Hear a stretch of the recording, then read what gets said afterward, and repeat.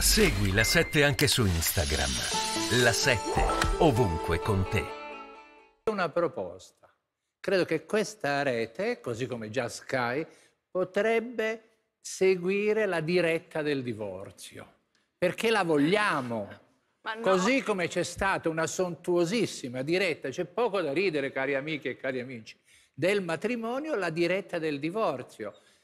Lui in questo momento... Ma bisogna vedere se mettono le telecamere all'interno, credo che ci vadano quantomeno No, no, i no, sì una, fe- una festa come quella che abbiamo visto con quella scena elegantissima dei tovaglioli sbandierati, la festa del divorzio, dove lui mostra le È sue un provocatore, stimmate. è un provocatore. No, lui in questo momento, perdonami, è un pensionato pubblico, perché la ferita più grande è quando gli hanno tolto il pallone. Sperava in una figura perennemente accudente. Tutti i rapporti si interrompono, tutti noi tradiamo la persona a cui abbiamo promesso amore, me compreso a Las Vegas, insomma.